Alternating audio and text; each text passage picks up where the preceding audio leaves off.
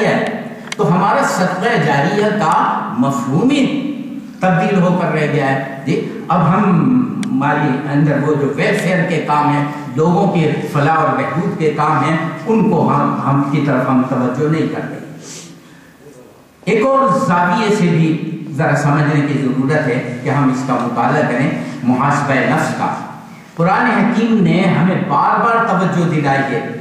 कि हर इंसान के अमाल का हिसाब किताब होना है।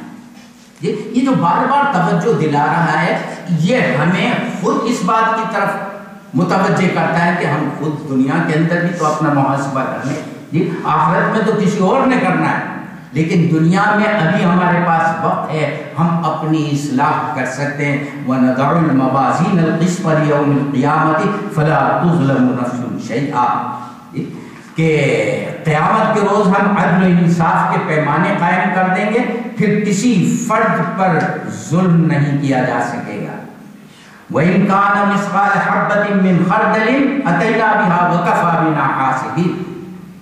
और अगर किसी फर्द के राय के बराबर भी कोई खैर का अमल है तो वो भी उसके सामने आ जाएगा। जी? हम उसका भी हिसाब किताब और अगर बुरा अमल है तो वो भी सामने आ जाएगा।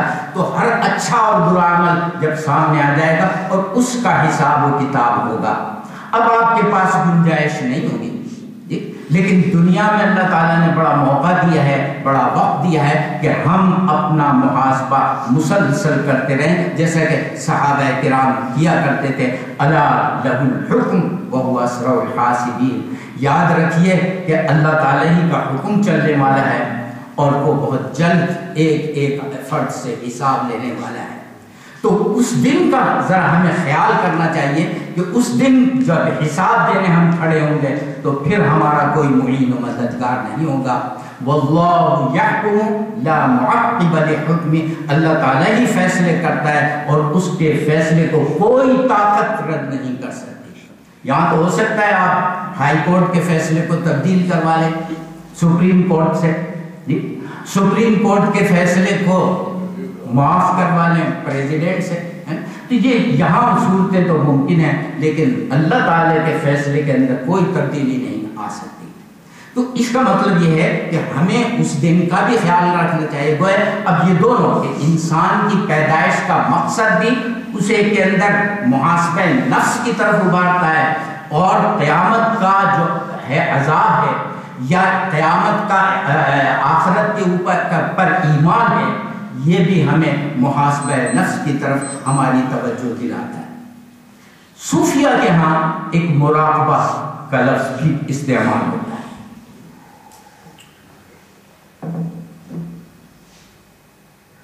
तो ये मुहासब, ये भी असल में मुहासब नफ्स ही का एक तस्वुर है कि आप बैठ कर अपने बारे में गौर करें, फ़िक्र करें और उनका कहना यह है कि ये लफ्ज जो सूफिया ने लिया है, वो कुरान हकीम की इस आयत से लिया है कि इन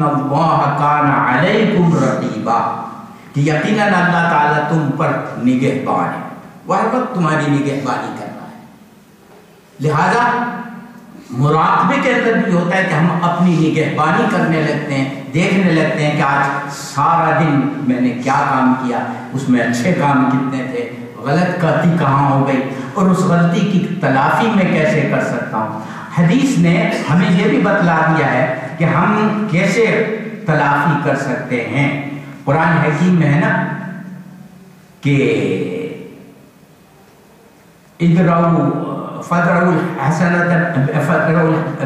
हसनत कि अगर तुमसे को गलती हो गई है तो गलती को अच्छाई से दूर करो। गलत अमल हो गया तो फ़ौरन उसकी जगह कोई अच्छा अमल कर लो। उस अच्छे अमल के असरात होंगे। इसी तरह हजूर सल्लल्लाहु अलैहि वसल्लम दूसरों को भी हिदायत दिया करते थे कि तुम अपनी गलतियों की तलाफी अच्छाई के ज़रिए करो।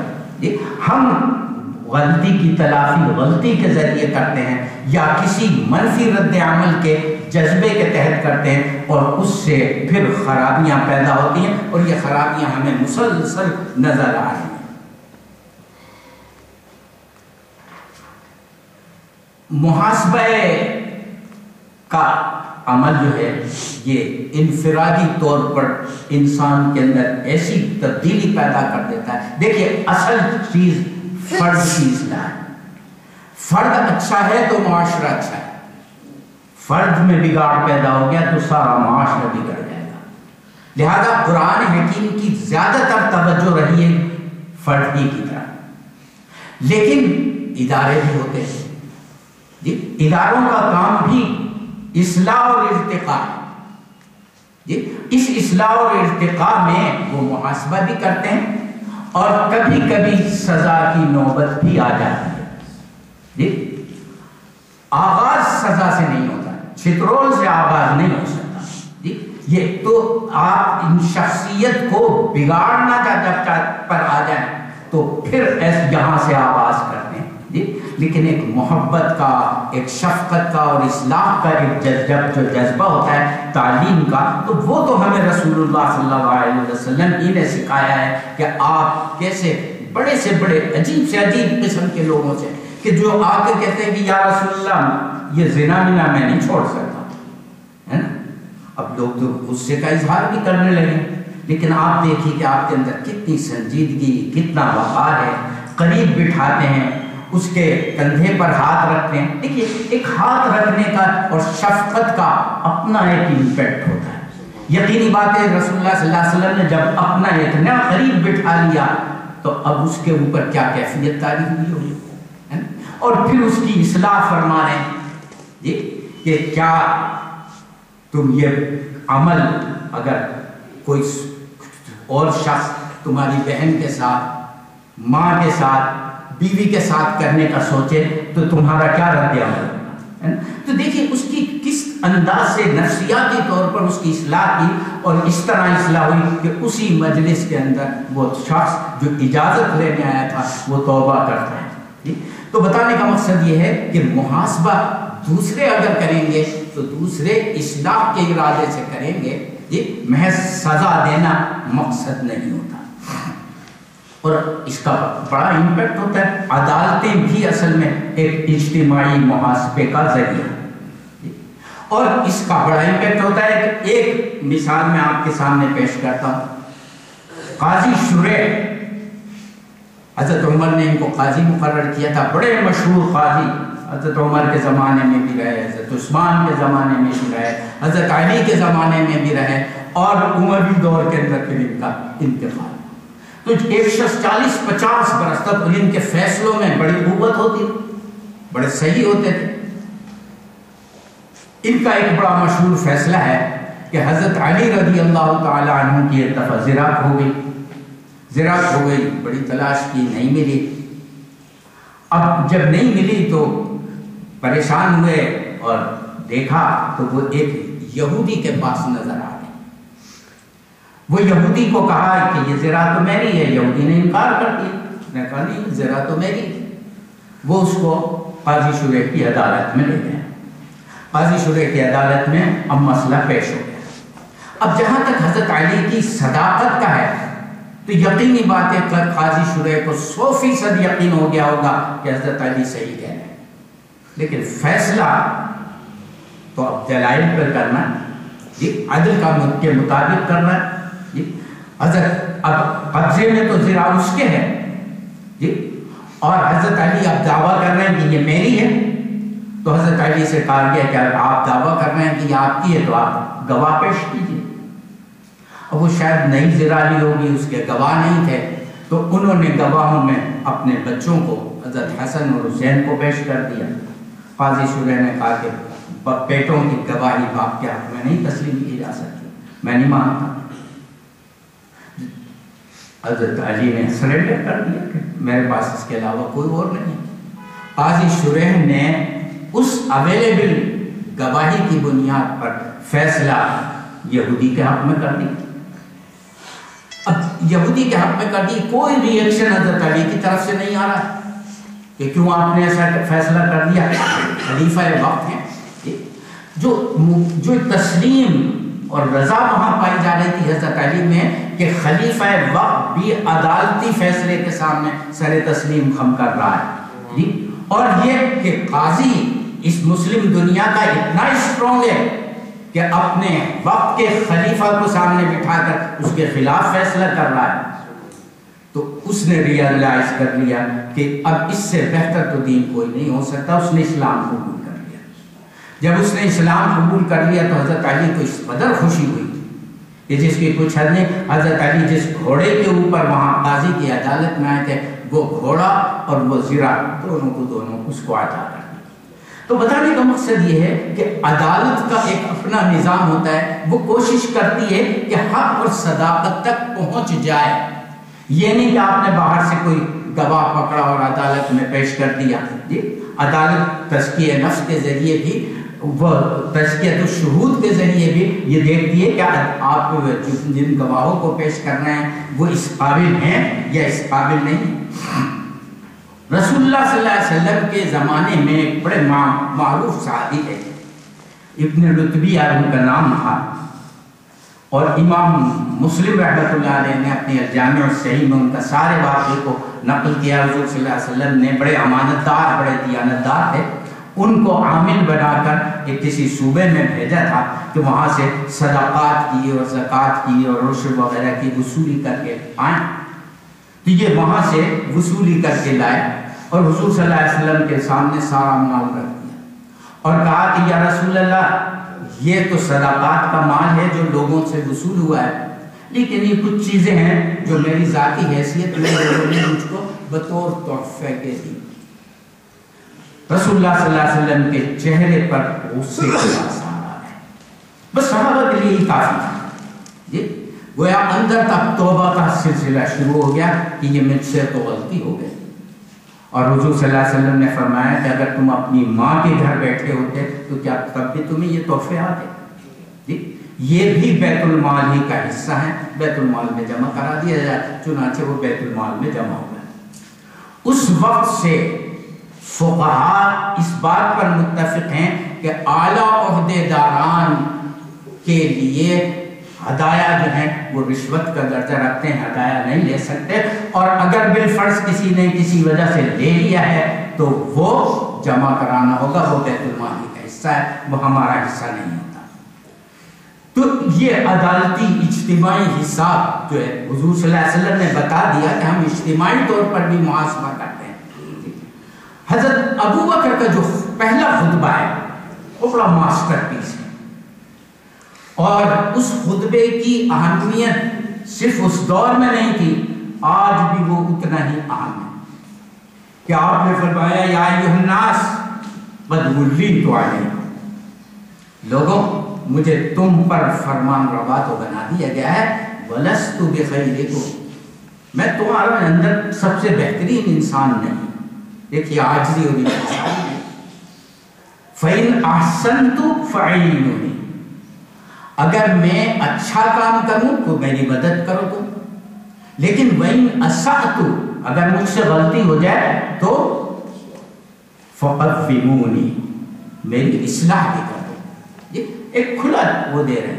इसी तरीके पर आपने ये भी फरमाया कि तुम में जो कवि तरीन इंसान है वो मेरे नज़दीक ज़यीफ तरीन इंसान है। यहाँ तक कि मैं उससे गरीब कहा वसूल और जो तुम में गरीब तरीन इंसान है, वो मेरे नज़दीक कवि तरीन इंसान है। यहाँ तक कि मैं उसके हक को उसको दिलवा दू। तो बताइए, देखिए, गरीब और अमीर का हमारे यहाँ तो बड़ा फ़र्क होता है ना? कि बस साहब का एक टेलीफोन आ जाए। तो ये फ़र्क वहाँ बिल्कुल खत्म हो चुके थे और ये मुहासबा क्योंकि उसे ये पता है, मालूम है कि ये इसका हिसाब और किताब मुझे कहीं और भी है हज़रत उमर रज़ी अल्लाह का भी यही था कि वो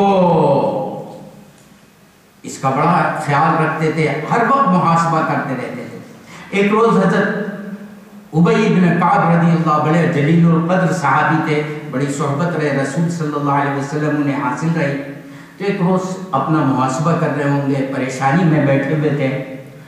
हज़रत उबई बिन काब आ गए तो बड़ी इल्तिजा और आरसू के साथ कहा कि उबैल ने कहा सही सही बताओ, कहीं मुलूकियत के जरासीम तो मेरे अंदर दाखिल पूरा गया। नाकदाना जायजा लो मेरे तर्ज हुकूमत का, मेरे अमल का, मेरे किरदार का। जी, मैं ये जानना चाहता हूँ कि कहीं तुम्हें ऐसे अनासिर तो नज़र आ नहीं आ रहे कि वो मलूकियत के हों, खिलाफत के ना हज़रत उबई ने काब रज़ी अल्लाह ने इतमान दिलाया कि आप बिल्कुल परेशान ना हो। आपके अंदर कोई आसार मुलूकियत के नहीं। और हकीकत यह है कि हज़रत उमर ने तो करीब भी नहीं भटकने दिया। कि हत्या क्या आप देखिए कि हज़रत उमर रदी अल्लाह तु की ना औलाद हुकूमत में शरीक रही, बल्कि उस कबीले के लोगों को भी नुमाया अहदा नहीं मिला। इस मामले में हज़रत उमर बहुत मोहताज थे।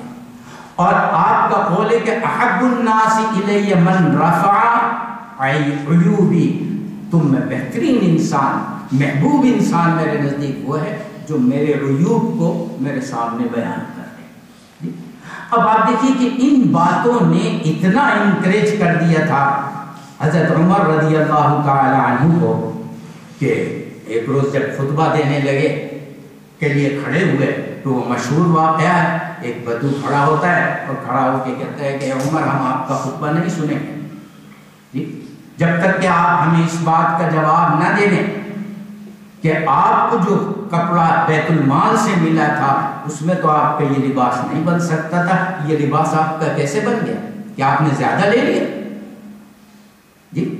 हज़रत उमर रज़ी अल्लाह तु ने अपने बेटे को कहा कि इसका जवाब तुम दो। तो उन्होंने जवाब दिया कि जो तकसीम माल गनीमत में से हुआ था, उसमें एक हिस्सा कपड़े का मेरे वालिद को मिला था और कुछ मुझे मिला था। तो मैंने अपने हिस्से का अपने वालिद को इसलिए दे दिया था कि वो इस कदर रहीम शहीम और बदावर थे कि उनका लिबास उस में बन नहीं सकता था। अब आप देखिए कि हज़रत उमर के कद का भी ख्याल करते हुए ये नहीं किया कि उन्हें आठ दस इंच ज़्यादा दे देते। ऐसा नहीं किया। बिल्कुल बराबर। तो कहते हैं कि मैंने अपने हिस्से का पार्चा उन्हें दे दिया था और उसके अंदर ये लिबास तैयार हुआ। वो बधु वहाँ बैठ जाता है, वो कहता है कि, उमर, अब खुतबा दीजिए, अब हम सुनेंगे। तो ये जुरत और ये हौसला और इखलास के साथ, यानी बधु की कोई नीयत बुरी नहीं थी। हम तो खड़े होकर एतराज़ करेंगे ना तो हमारी नीयत में शुतूर होगा, क्योंकि नीयत की इसलाह की तरफ़ हमारा भी तवज्जो नहीं। तो अब ये देखिए कि ये दोनों इदारे जो हैं, हुकूमत का इदारा और एक पब्लिक। वो जो एक हदीस है, वो बड़ी अहम है। इमाम हवलानी ने उसको नकल किया है कि ला इल्ला बिल इमाम लोगों की इसलाह के लिए तो इमाम का होना ज़रूरी वो लीडर, कानून को, दस्तूर को नाफिज करने वाला इमाम और इमाम की असलाह जो होती है, वो लोगों के ज़रिए होती है। जी, लोग नाकदाना अंदाज में उसका जायजा लेते हैं और अगर उसमें कोई बुराई नज़र आती है तो नासिहाना अंदाज में उसकी असलाह करते हैं। उसके कपड़े उतारना शुरू नहीं कर देते, उसकी शख्सियत को डैमेज करना शुरू नहीं शुरू करते, बल्कि एक नासहाना अंदाज में उसकी इसलाह की फ़िक्र करते हैं। तो ये दोनों इंस्टीट्यूशन साथ साथ चलते हैं कि आप उनकी इसलाह का ज़रिया बन जाए, वो आपकी इसलाह का ज़रिया बन जाए। लेकिन ये, वो आपकी इसलाह का ज़रिया उसी वक्त बनेंगे कि जब हमने अपनी इसलाह कर ली होगी। इसलिए कि हुक्मरान हमारे ही अंदर से निकल कर हुक्मरान बनते हैं, ऊपर से कोई नहीं आता। ये हौलानी का जो ये कौल मैंने आपके सामने नकल किया, ये असल में सीरत तैयबा ही से माफ़ इसलिए कि मुहासबे का असल मकसद फर्द और माशरे दोनों की इसलाह है। और यहाँ दोनों ही की इसलाह की तरफ़ ये फर्द अपनी इसलाह में लगा रहे और मुआशरा और उसके इदारे जो हैं, वो लोगों की इसलाह में लगे रहे अगर हम सही अंदाज में अपने इदारों को मुनज़म कर दें, हमारा मिसाल के तौर पर पुलिस का महकमा है। पुलिस का महकमा बहुत अच्छे काम कर सकता है, तरबियत और पुलिस के अंदर की तहवील में जो शख्स आ जाता है उसमें बड़ा सुनने का भी जज्बा होता है। मुझे इसलिए अंदाज़ा है कि मुझे कुछ अरसा जेलों में काम करने का मौका मिला। बसा अवकात ऐसा होता था कि हमें पुलिस वाले कहते थे कि ये बड़ा खतरनाक है दिए इसके पास तो हम जाने ही नहीं देते किसी को भी। हम उनसे बड़ी रिक्वेस्ट करते थे कि हमें जाने दें। हमें कुछ नहीं कहेंगे हमने इनको कुछ नहीं बढ़ाया कहते उस, उसको तो मौत का फैसला हो चुका है। जी लिहाजा उसने कहा, जहाँ मैंने एक और मारा है, एक और मार दो, क्या फ़र्क पड़ता है? तो हमने कहा, हम तो दीन की बात करने आए हैं, जाने दे तो वो जाने देते थे कभी। कि ठीक है, अपनी ज़िम्मेदारी पे चले जाए। तो हमने देखा कि वो जिसके फैस के लिए मौत का फैसला हो चुका है अदालत से, जी, माफ़ी भी रद्द हो चुकी है, उसमें सुनने का जज्बा बहुत ज़्यादा तो बताने का मकसद ये है कि इस्लाह का काम अगर हम करना चाहें तो हमारे पास बड़ा वसी मैदान है। हम इस वसी मैदान को सिर्फ़ छित्रोल के लिए इस्तेमाल करना शुरू कर दें। जी, गालियाँ बकने के लिए। देखिए, किसी को गाली अगर बक्का बुला लिया है, जी तो उसका रिएक्शन आप देखिए, मनफी काम का मनफी ही रिएक्शन होता है। लेकिन अगर आप किसी मुजरिम को भी मोहब्बत और शफकत से और एक इज़्ज़त के साथ बुला लेंगे तो आप देखिए कि उसकी इसलाह का अमल वहीं शुरू हो जाएगा। लेकिन इसलाह का अमल शुरू कौन करे? तो हमारे इदारे जितने भी हैं, इन इदारों को इस तरफ़ तवज्जो करनी होगी। इसको रीऑर्गेनाइज करना होगा। हमारे ये इस किस्म के इदारे जो हैं, वो बुराई तो फैला सकते हैं। अच्छाई उनके ज़रिए कायम करना बड़ा मुश्किल है। एक हदीस पर मैं अपनी गुफ्तु को ख़त्म करना चाहूँगा। कि हुजूर अलैहि वसल्लम के ये उसवा हसन से ही मिलती है कि अलैहि वसल्लम ने फरमाया, अद्दीन नसीहा दीन तो सरासर नसीहत का नाम है। जी, हम अपने आप को भी नसीहत करें, अपने गर्द पेश में, अपने माहौल में लोगों को नसीहत का मतलब ये है कि खुलूस के साथ खैर खाही के जज्बे के साथ हम दूसरे से बात करें। नफरत नहीं। जी तो ये जो हमारे यहाँ एक मुहासबे का ये तर्ज अमल है कि हम दूसरे को नंगा करने की कोशिश करें, दूसरे के अयूब को उभारने की कोशिश करें तो ये चीज़ ख़त्म होनी चाहिए। ये मनफी रद्द अमल पैदा करता है और मनफी रद्द अमल की जो बुराइयाँ अब तक हमारे सामने आ रही हैं। आज तक नाइन अलेवन के बाद हमने शुरू कर दिया था ना कि दहशत गर्दी को ख़त्म कर देंगे। ख़त्म तो नहीं हुई। क्यों नहीं हुई? मैं ये नहीं कहता कि आप उसके लिए ये जरब आज से काम न लें। ज़रूर ले लीजिए लेकिन जरब आज काम जब होगी कि जब उससे पहले के करने के काम भी आप कर लें। जी, वो तालीम का काम है, वो तरबियत का काम है। वो तस्कीर का काम है। वो लोगों में जज्बा मुहासबा पैदा करने की ज़रूरत है। तो इस्लाम और रिफॉर्म के काम हम कहाँ कर रहे हैं? जी आप तो 500 अगर दहशत गर्द एक जगह जमाए, आपने मार दी। वो तो खत्म हो गया, फिर कहाँ से आ गए?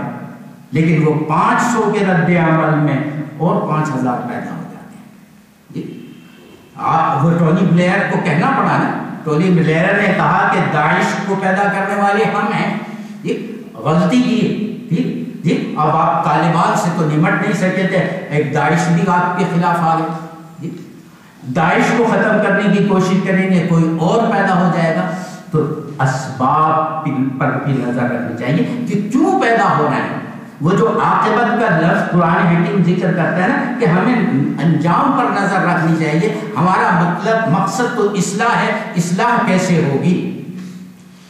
और हज़रत हसन बसरी का जैसे मैंने कौल आपके सामने पेश किया कि वो तो इंसान की नीयत दुरुस्त करने से होती है, तोबा से पैदा होती है, वो तलवार से पैदा नहीं जी तो इसको अगर हम समझ लें तो हम बहुत हद तक अपने माशरे की असलाह कर सकते हैं और इसी में हमारी खैर खाही है और हजूर अलैहि वसल्लम ने ये खैर खाना जज्बे के तहत ही हमें ये उसूल अता फरमाए अल्लाह ताला से दुआ है कि अल्लाह ताला हमें इन्हें समझने और इन पर अमल करने की तोफ़ी अता फरमाए। वाहवाना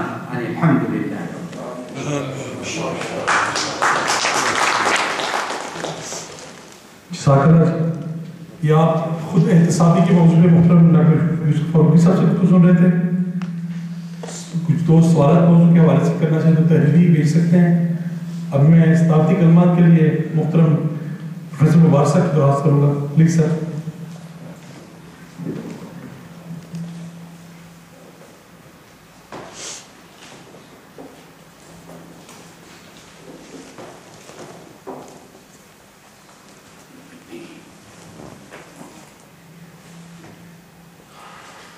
बिस्मिल्लाहिर्रहमानिर्रहीम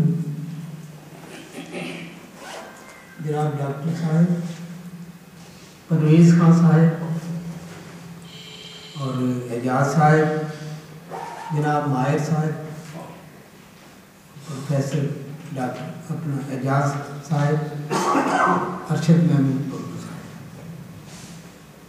दीगर कराम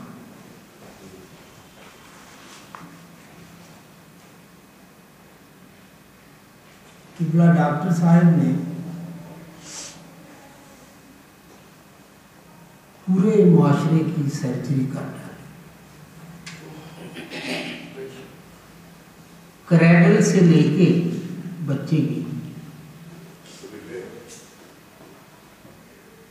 बड़े तक इनफरादी भी और उसके बाद आखिर में इज्तमाही जो हमारे अंदर नकायस हैं, जो खराबियाँ हैं, मुरवजा, उनकी निशानदेही भी की और उनकी रेक्टिफिकेशन इसलाह के लिए बाकायदा मशवरे भी थे इतनी सीरासल बहस के बाद मैं समझता हूँ कि मुझ जैसा नाचीज़ इसका मजमून ही इंग्लिश है। इस कदर वसी और मुताला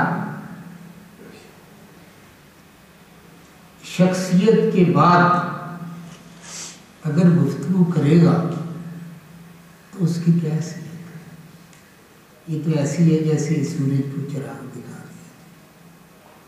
ताहम क्योंकि एक रस्म है तो वो रस्मी कलमात जो हैं।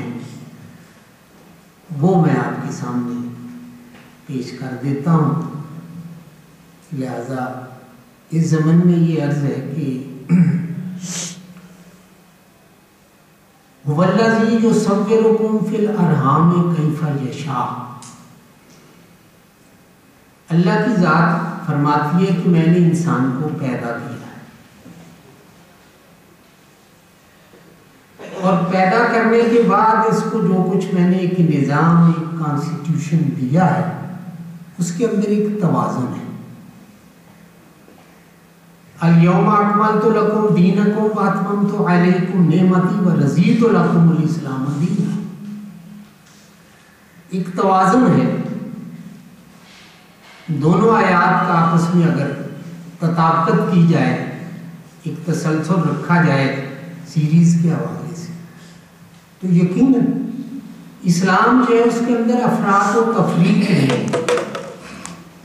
एक तवाज़ुन और उस तवाज़न को जहन में रखते हुए अगर इंसान अपनी ज़िंदगी को बसर करता है तो यकीन उसमें कोई खराबी नहीं आती। सारे का सारा निज़ाम ही दुरुस्त हो जाए जैसा कि डॉक्टर ने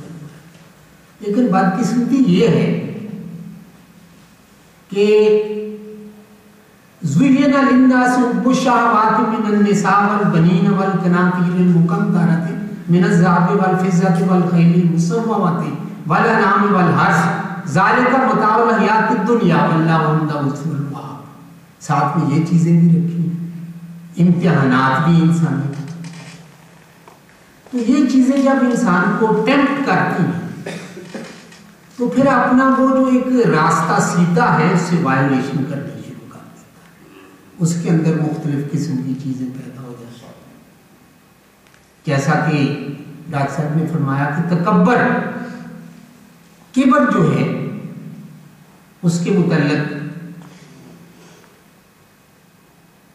हदीस मुबारक है कि इब्ने मसूद रज़ी अल्लाह से ने कहा कि नबी अकरम ने फरमाया कि ला यदखुलुल जन्नत वो शख्स जन्नत में नहीं जाएगा जिसके दिल में थोड़ा सा भी किबर मौजूद है, एक जर्रे जितना तो एक शख्स ने दरियाफ्त किया कि अल्लाह के रसूल, हमारा दिल करता है कि अच्छे कपड़े पहने, अच्छे जूते भी पहने तो इसके मुतल तो उसका जवाब ये दिया गया कि अल्लाह ताला हुसन को पसंद करता है, क्योंकि खुद भी बड़ा जमील है। लेकिन किबर जो है, वो ये है कि आप किसी हक को बातिल करें और लोगों की तहकीर करें, अपने आप को उनसे बड़ा समझें। ये किबर है। तरबियत से मैं तेरी अंजुम का हम किस्मत हुआ। घर मेरे अजदाद का सरमाया इज़्ज़त हुआ। दफ्तर हस्ती में थी जर्री वरक तेरी हज़ार तीसरा पा दीन दुनिया का सबक तेरी। अगर ये घर से तरबियत शुरू हो जाए, जैसे कि नाम इकबाल ने अपनी वालदा मरहुमा मकफूरा को, मरसिए की शक्ल में ये एक जो है सताइशी कलमात पेश किए कि मैं इस मुकाम पे जो पहुँचा हूँ तो उसकी वजह यही थी कि मेरी तरबियत अच्छी थी। और फिर उसके बाद उस्ताद अच्छे मिल गए, सैयद वीर हसन जैसे जिन्होंने रूहानी तरबियत की। तो आज के दौर में अगर हम देखें ईमानदारी के साथ नो डाउट जैसा कि डॉक्टर साहब ने फरमाया कि हम तो सुबह उठते भी नहीं जब नमाज़ भी नहीं पढ़ते तो अपने बच्चों को क्या तलकीन कर एक दौर था जबकि हम समझते थे कि बच्चों को मस्जिद के अंदर भेजना ज़रूरी When the old cock crows, the young cock learns. बच्चे के सामने आप एक प्रैक्टिकल नमूना पेश करेंगे तो यकीनन कुछ ना कुछ उसका ज़रूर असर होगा। अब वो चीज़ भी खत्म हो गई। ये कोताही है बहुत बड़ी मुआशरे के अंदर हमारे, और मैं तो बात ये सोचता हूँ जिसमें मैं भी शामिल हूँ कि पाकिस्तान ये मुल्क जो हमने, पाकिस्तान का मतलब क्या? ला इल्लल्लाह। अगर ईमानदारी से हम सोचें तो यहाँ पे कौन सा ऐसा काम है जो इस्लाम के मुताबिक हम कर रहे हैं? हमारे कौन से ऐसे कारनामे मैं सिर्फ़ एक छोटी सी मिसाल देता हूँ कि हमारा अदालती निज़ाम आप देख सारे का सारा झूठी गवाहियों के ऊपर डिपेंड करता है। और हदीस मुबारक है यमीनुल फाजिरा तो तागौदियानल बलाग किया। झूठी कसम मुल्कों को तबाह बर्बाद कर देती। जिस मुआशरे, जिस सोसाइटी, जिस समाज के अंदर झूठी कसम का रिवाज चल पड़ी। कस्में खाने लगे इंश्योरेंस दिलाने लगे। और अदालतों का निज़ाम जो है बड़े बड़े फैसले सादर होते हो झूठी गवाहियों के ऊपर तो वो मुआशरा कभी भी सर्वाइव नहीं कर सकता। This is reality that is going to the decline वो मुआशरा कभी तरक्की नहीं कर सकता। अगर किसी छोटी सी एक बात को ले लो हमारा आज जो अदालती निज़ाम है उसके अंदर क्या और ये सा, बाकी सारे हमारे मैप में हैं मुख्तलिफ़ किस्म के जो आप लोग देखते हैं सारा रोज पढ़ते हैं टीवी पे देखते हैं खुद उनसे वास्ता पड़ता है हड्डी बीती है हमारी मुख्तलिफ़ दफातर में जाते हैं। कितना एहतराम होता है? एक दूसरे के। कितने मसाइल हम एक दूसरे के हल करते हैं? बेलॉस। कहते हैं कि इस फ़ाइल को पहिए लगे, नहीं लगे, लिहाजा ये फ़ाइल आपकी इस मेज से दूसरे मेज पे लेंगे यानी काम जो है, हमारा वो जेन्युन है। वो भी नहीं होता ये इस्लाम। मैं चाहता हूँ इस्लाम इस मुल्क में नाफज हो, लेकिन मेरे ऊपर ना हो। किसी बुज़ुर्ग ने कहा था, किसी मजलिस के अंदर कि हर बंदा हमें से ये चाहता है कि इस मुल्क में इस्लामी निज़ाम नाफिज हो जाए। लेकिन साथ में वो मुनाफ्त भी है उसके दिल में कि मेरे ऊपर नहीं होना चाहिए। बाकी सब के नाफिज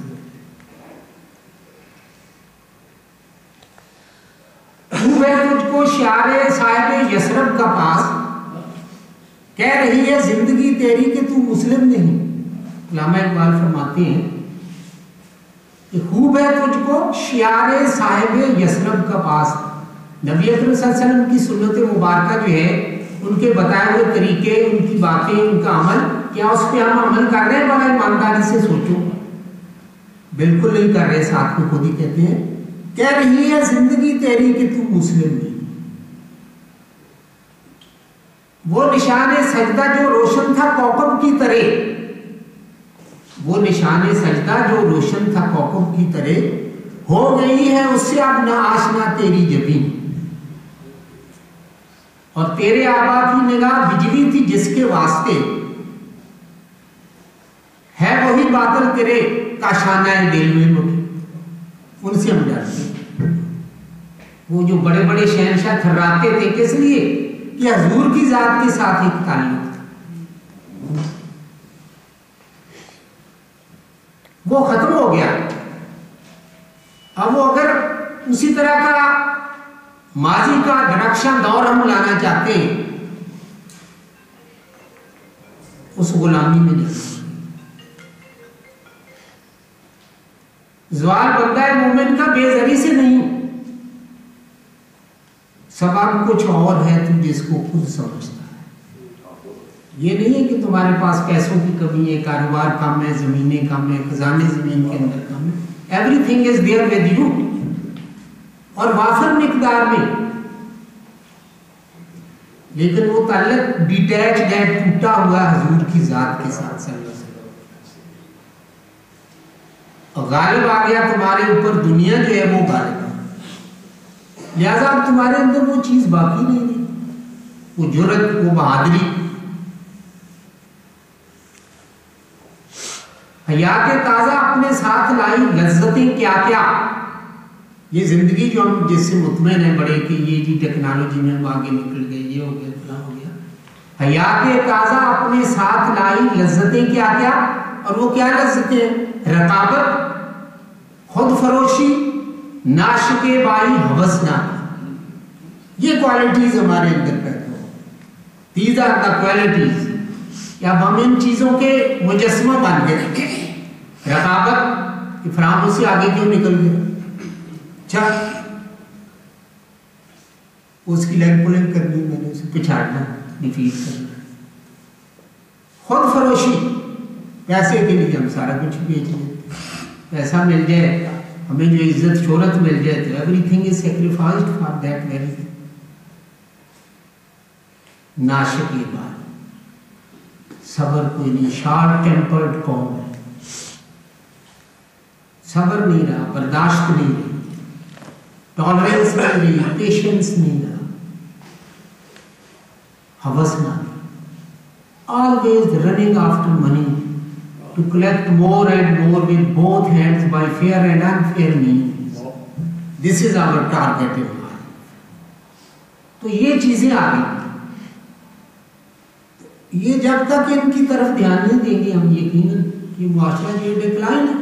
अमेरिका के पास जाते हैं, रोते पीटते हैं, जाते हैं ये हो जाएगा, वो हो जाएगा, फला। उसको हमने जो है देवता बना रखा है। कि सारा कुछ वही शायद देता हमें खुदा से बिल्कुल आता है। डॉक्टर साहब ने जिस अंदाज से माशाल्लाह खूबसूरत तजिया किया है, बड़ी बारीकी के साथ फिलासफिकली अंदाज से, यकीनन वो गौर व फ़िक्र की दावत देता है। थाट पर वोकिंग एक बहुत बड़ा असर आफरीन भी है और तवज्जो हमारी जो इस चीज़ की तरफ़। डॉक्टर साहब ने एक बात बड़ी मेरी तबीयत के मुताबिक कही थी कि सारी बातें मेरी तबीयत, लेकिन वो मेरा खसूसी सोच है। इर्तका का लफ्ज इस्तेमाल किया। एवोल्यूशन अलामा इकबाल ने ये इर्तका जो है, इसको सुपरमैन का नाम और मोमिन का। और फकर का नाम दिया इंसान के अंदर जब वो फिल्ट्रेशन करता है, अपनी प्योरिफिकेशन करता है? स्टोइसिज्म करता है नफ्स खुशी करता है, मारता है अपने आप तो फिर यकीनन मुख्तलिफ़ मदारत जो है वो उसके निकलते चले जाते एक से एक मुकाम से खूब से खूबता की तलाश में आगे। और ये मौलाना रूम मुर्शद रूमी, जिन्हें अलामा इकबाल कहते हैं। उन्होंने कहा है कि जब शरीयत के अमर पैरा पैरा होके मुसलमान नबी अकरम के इश्क में अपने आप को फना कर लेता है, एक जज्ब कर लेता है अपने आप को तो उसके अंदर वो इदराक पैदा हो जाता है। उसके अंदर एक इदराक, एक फहम तारीख उमम क्या है? कोई कह नहीं सकता, मोमिन की फरासत वो तो काफ़ी है मैं बंदा नादा हूँ, मगर शुक्र है तेरा, रखता हूँ नहा खाना लाहूद से पैबंद एक वलवलाए ताज़ा दिया मैंने दिलों को, लाहौर से ता खाकी बुखारा और सबर कर। लेकिन मुझे पैदा किया इस देश में तुमने जिस देश के बंदे गुलामी की तो ये मुकाम जो था एवोल्यूशन का उसके हवाले से एक छोटी सी नज्म आपको तो पेश कर दी आपसे इजाज़त चाहूँगा। एवोल्यूशन था हज़रत बिलाल रज़ी अल्लाह ताला डॉक्टर इजाज़त है नज्म हज़रत बिलाल रज़ी अल्लाह ताला का मुवाजना किया है अलामा इकबाल रहमतुल्लाह अलैह ने सिकंदर रूमी के साथ। इतना बड़ा बादशाह सारी दुनिया को फतह करना चाहता था। आज उसे कोई जानता नहीं। भूल बाल गए मट्टी पड़ गई गर्म पड़ गई। लेकिन हज़रत बिलाल रज़ी अल्लाह को कयामत तक एक मुकाम है। बल्कि इस दुनिया के बाद भी जन्नत में भी हजूर को जो खड़ा आता है तो पता लगता है कि वो बिलाल अपने से भी ये इर्तकाई मनाजर लिखा है एक मगर भी हकशनास ने। अहले कलम में जिसका बहुत एहतराम था जुलाग है सिकंदर रूमी था एशिया, गर्दू से भी बुलंद कर उसका मुकाम था। तारीख कह रही है कि रूमी के सामने दावा किया जो पोरसो दारा निखाम था, दुनिया के उस शहनशाह अंजुम सिपा को हैरत से देखता चल के नील फाम आज एशिया में उसको कोई जानता नहीं।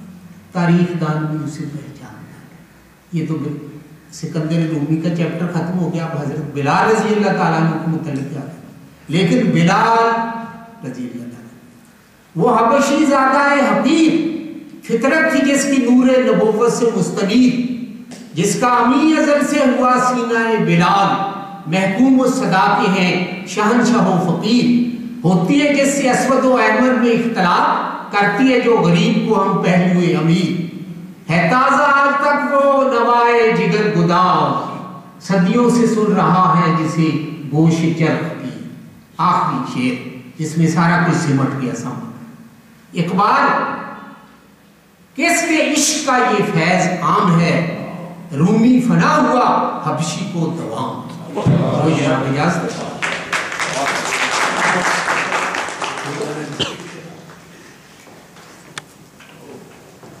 अल्लाह ताला मसीह अमल की तौफीक दे हम सबको। डॉक्टर साहब सवाल तो नहीं बैठ के मैं देखिए कंफर्टेबल ये है?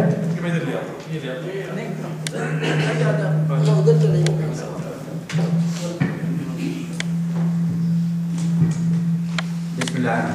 यहाँ दो सवाल हैं। एक तो ये कि साइंस के मुताबिक दिमाग सोचता है कुरान के मुताबिक कल्ब सोचता है।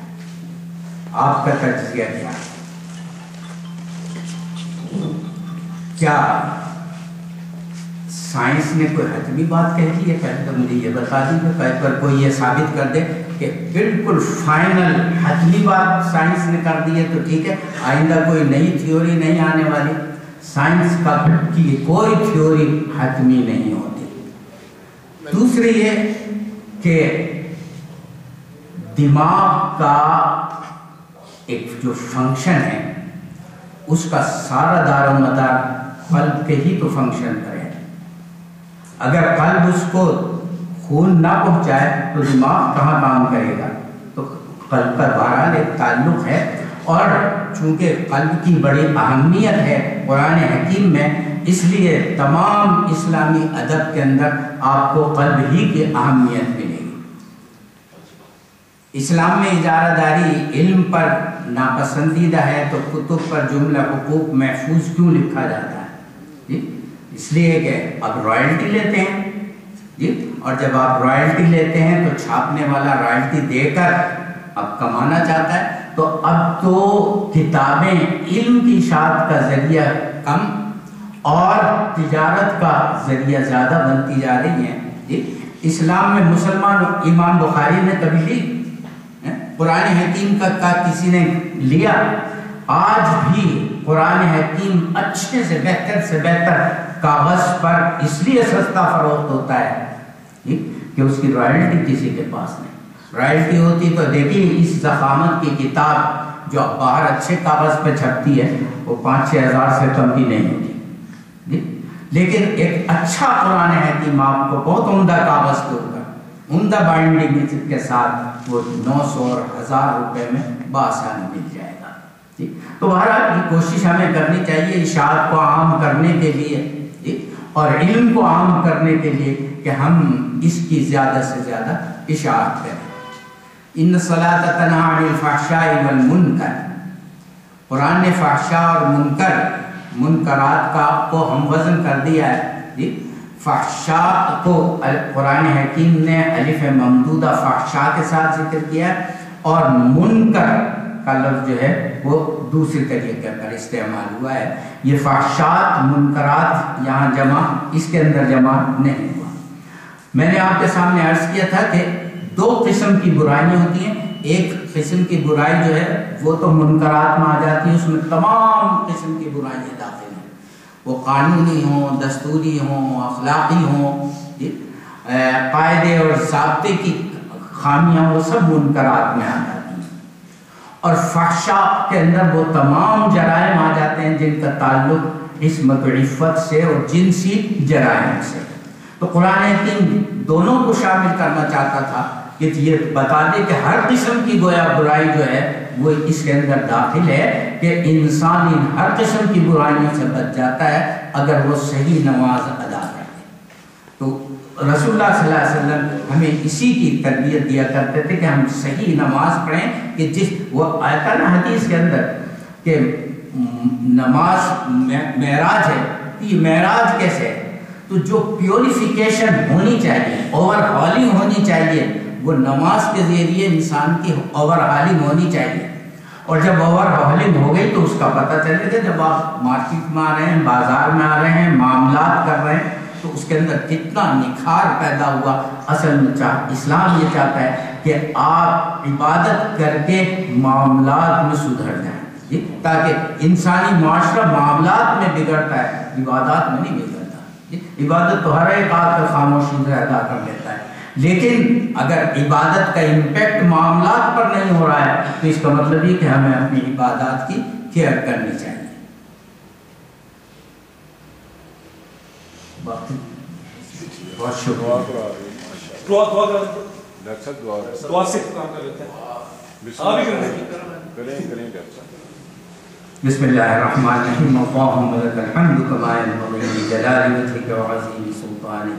अल्लाहुम्मा इग़फिर लना वरहमना वअफ़ु अन्ना वतजावज़ अन जमी सय्यातिना वजअलना मिन इबादिका सालिहीन या अल्लाह तू हमारी तमाम खताओं को हर किस्म की कोताहियों को कमज़ोरियों को माफ़ फरमा दे या अल्लाह हमारे दिल और दिमाग के अंदर ईमान की क़ुव्वत पैदा फरमा दे यकीन पैदा फरमा दे या अल्लाह अपनी ज़ात से ताल्लुक़ पैदा फरमा या अल्लाह हुजूर अकरम सल्लल्लाहु अलैहि वसल्लम के उसवा हसना को अपनाने की तौफीक अता फरमा या अल्लाह हमारे अंदर मकारी में अखलाक को पैदा फरमा दे या अल्लाह तमाम अखलाकी जराइम और बुराइयाँ जो हैं, उनसे हमें निजात अता फरमा।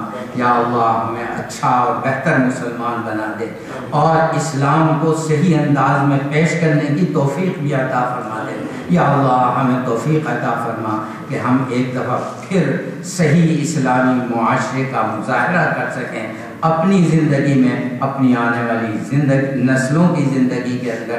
अल्लाह, तू हमारी दुआओं को कबूल फरमा ले। वसल्लल्लाहु तआला अला खैर खल्क़ी मुहम्मदिन व अला आलिहि व अस्हाबिहि अजमईन। बिरहमतिका या अरहमर राहिमीन नमाज़ बाजमत अदा करते नहीं, चला नीचे मस्जिद में। नमाज़ बाजमत अदा हैं सॉरी भी पास कितने बजे? अभी 10 मिनट बाद कर तो लेते हैं 10 एक बजे 10 मिनट बाद हाँ, 10 मिनट बाद कर लेते हैं।